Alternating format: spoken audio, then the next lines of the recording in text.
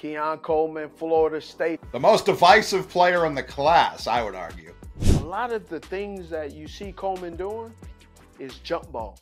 But that's not going to work when the athlete you're playing against may be more athletic and better, stronger, taller, and faster than you. So now that's where technique comes in. Didn't use Coleman to his full ability. short area quickness is really, really good. Like this little short area, fist fighting the phone booth, all of that, bang, right there quick, he's there.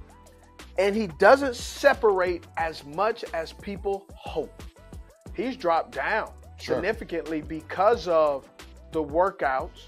What somebody will do though is draft him high because no one wants to pass up that what if, that potential.